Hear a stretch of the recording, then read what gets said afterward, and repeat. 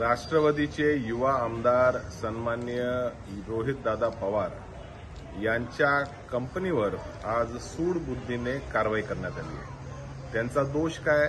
तर त्यांचा दोष आहे की आजोबाची काठी पकडून महाराष्ट्रात आणि देशामध्ये भारतीय जनता पार्टीला ते विरोध करत आहेत.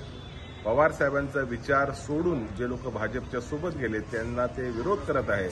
आणि राज्यामध्ये एकंदरीतच पवार साहेबांच्या मागे तरुण फळी उभारण्याचा प्रयत्न रोहितदादा पवार करत असल्यामुळे सूडबुद्धीने राज्य शासनाच्या एका विभागाने त्यांच्या कंपनीवर कारवाई केली न केलेली आहे.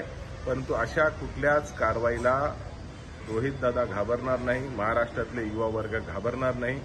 तुम्ही रोहितदादांच्या वाढदिवसाच्या आधी त्यांना अशा प्रकारचं गिफ्ट जरी दिलेलं असलं तरी निवडणुकीच्या माध्यमातून रोहितदादांच्या वाढदिवसाचं रिटर्न गिफ्ट आम्ही महाराष्ट्रामध्ये आणि देशामध्ये इंडिया आघाडी त्याला निवडून आणून तुम्हाला परत देऊ.